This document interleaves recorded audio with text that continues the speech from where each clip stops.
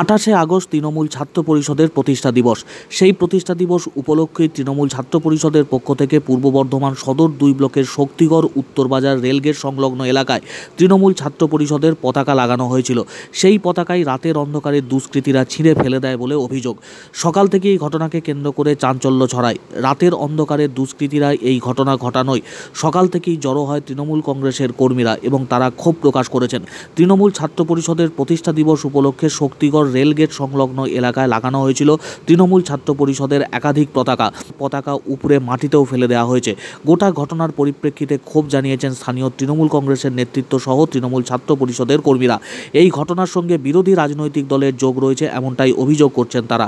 গোটা ঘটনাকে রাজনৈতিকভাবে মোকাবিলা করা হবে বলে জানিয়েছেন তৃণমূল ছাত্র পরিষদের নেতৃত্বরা।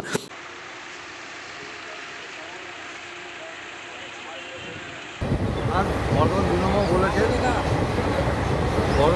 বর্ধমান ও আমাদের যে বসুর এক নম্বর অঞ্চলে ছাত্র পরিষদের পরিষদ হিসেবে পতাকা উত্তোলন করা হয়েছিল। আমরা আগামীকাল রাত্রেবেলা আমরা প্রত্যেকটা এলাকার মধ্যে আমরা ফ্ল্যাগ লাগিয়েছিলাম এবং কালকে আমাদের যে আঠাশ আগস্টে ফ্ল্যাগ উত্তোলন করা হবে বলে তার আমরা প্রস্তুতি নিচ্ছিলাম রেলগেটে আমাদের শক্তি উত্তরবাজার রেলগেট সন্নিকটে এবং সকালবেলা দেখছি আমাদের তৃণমূল ছাত্র পরিষদের ফ্ল্যাগ, এই, দেখছি ছেঁড়া।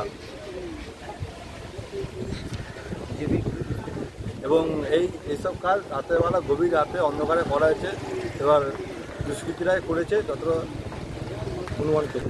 এবার দুষ্কৃতীদের জন্য কঠোর শাস্তি হয়, আমি প্রশাসনের কাছে এই অনুরোধ করব।